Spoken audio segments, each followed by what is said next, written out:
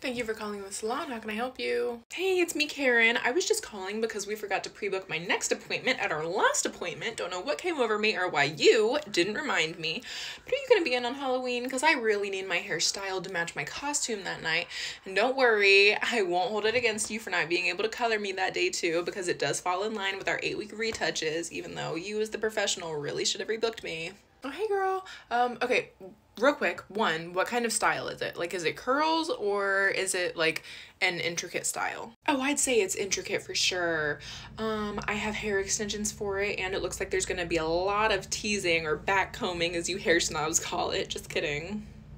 Okay, so that is going to take longer than your normal heat styling service.